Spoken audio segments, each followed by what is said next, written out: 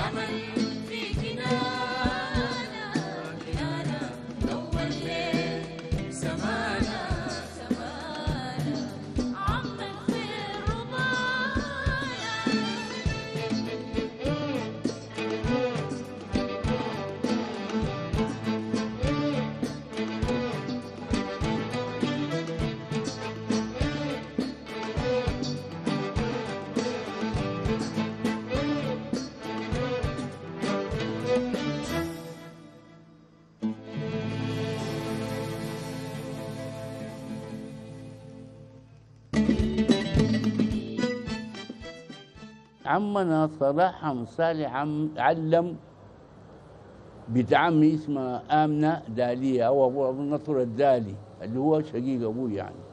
أو أخوهم الكبير. علمها صلاح كيف؟ عزف العود وكان عندها ريشة ما تصيب. آمنة دي قبل أسمى لاحظ يعني يمكن بالمعنى ده أنه يكون أول امرأة سودانية عزفت العود في السودان تكون آه لكن طبعا في نطاق أسري. ما في ناي ولا يعني في حفلات عامة ولا أجهزة ع- مثلا إعلامية. في ناطق في نطاق خارج داخل الأسرة في أفراح الأسرة في بتكون كده الحاجات دي كده. بعدها ابن عمي برضه اسمها حمد ربنا يديها الصحة والعافية آه شيد بيها يعني من هنا. هي أول من كان عندها برضه عود. هي دي بقى الفترة اللي أنا ابتديت أتعلم فيها العود. فأسمى حتى سبب العود يعني خلاه يعني يكون عندها عود مرة والدة اللي هو همزة همزة بشير نصر اللي هو توم أبوي.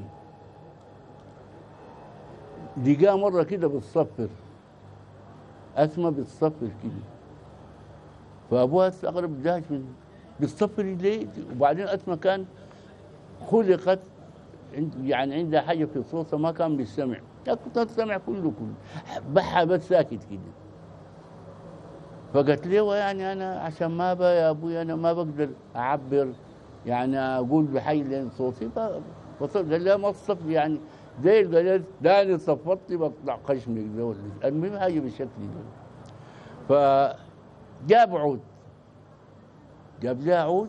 قال لو اصلك أنت دايتي لكن حتى العود اللي جابوا في العود اللي اللي أنا تعلمت فيه وعندها لحد الآن العود كان هدية من صديق أبوها اللي هو كان في الجيش مع عمنا حمزة. آه محمد خير شنان. العميد محمد خير شنان. بحكم الزمالة العسكرية ما بين عمنا الباشا همزة نصر طبعا برضه كان عندنا عمنا اللواء حسن بشير نصر برضه عمي. فكان عنده عود. فقام هذا العود ده لابنة صديقه اللي مع من همزة بشير لأسمى العود ده موجود لحد الآن.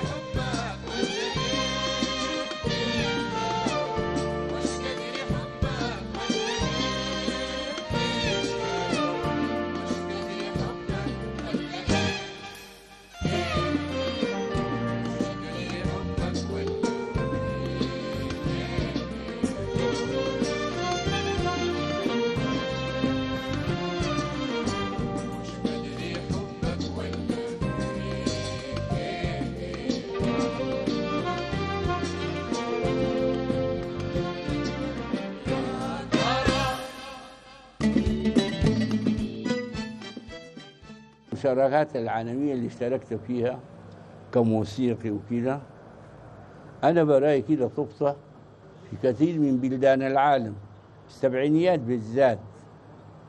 يعني مثلا زي أمريكا دي يمكن مشيت لو قلت لكم قريبة العشرين مرة صدقوني باريس برضو نفس الشيء. يعني في بلاد كده معينة دوتها كثير جدا. ده قبل ما يكون اشتراكي في أي جوائز مثلا عالمية وكده مشيت اليابان سنة 80 ودي كانت بدعوة يعني جات عن طريق آه، سفارتنا في في في اليابان في طوكيو. أذكر أنه قدمت عمل كان عظيم جدا جدا بالنسبة في آه، المسرح الدولي في طوكيو بالعود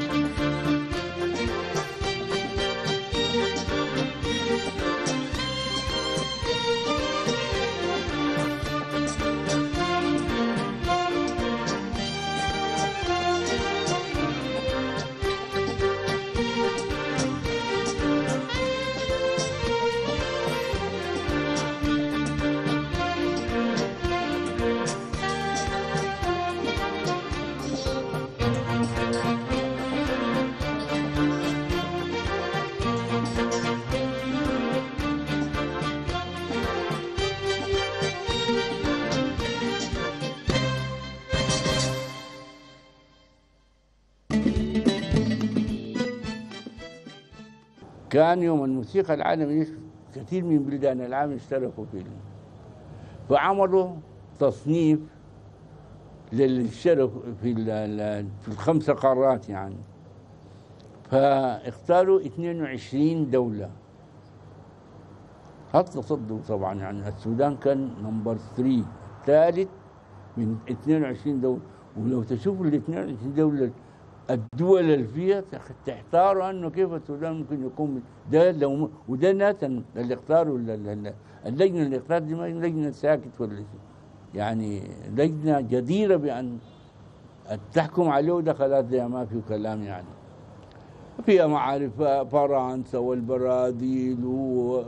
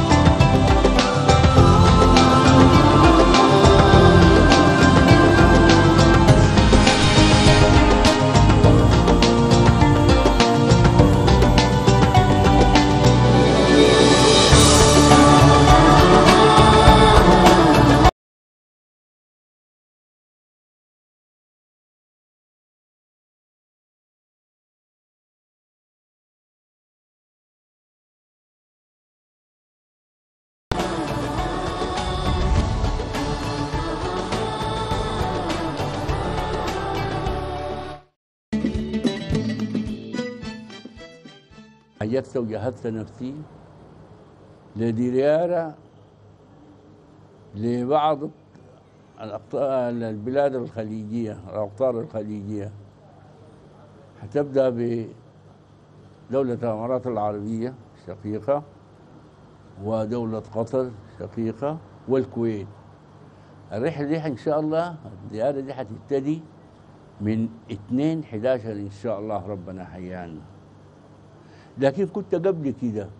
أو بعد ما أجي من الزياره دي عندي؟ يعني أفتكر انه زياره مهمة جدا جدا بالنسبة لي اللي هي لجنوب السودان؟ نحن طبعا انفصلنا سياسيا وجغرافيا لكن ما بفتكر أنه ما في أي قوة في العالم تفصلنا عاطفيا ووجدانيا. لا في الجنوب ولا في الشمال يعني ديك الاثنين يعني ما في حاجة تفصيلنا فيه فأنا من الحاجات الدايرة أعملها بعد ما أجي من زيارتي لدول الخليج إن شاء الله عاوز أمشي بإذن الله وزيارة لجنوب السودان وشعاري لهذه الزيارة الفن يتحدث سياسة وإن كانت السياسة والفن بالنسبة لنا الدائرة في الجنوب هدف واحد تحسين العلاقات ما بين الشمال بين الجنوب والشمال والعكس هو